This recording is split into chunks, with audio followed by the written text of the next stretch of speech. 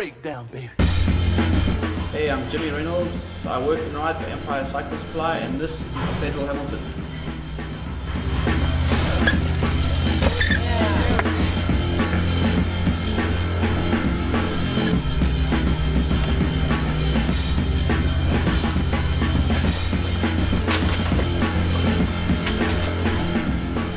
Like riding really short bikes, and specifically bikes with really short back ends. I used to ride a 20, but I've moved up to a 20.5 to see if I can get a bit more trail style.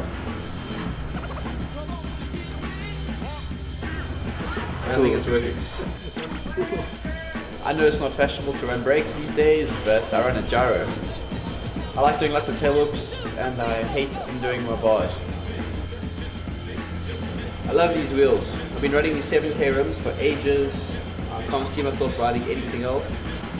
I just built up a Federal free coaster, so we're going to see what happens now with that. I like my bike really light. so I've been riding a lot of park lately, doing some weird tech stuff. The setup is working real good.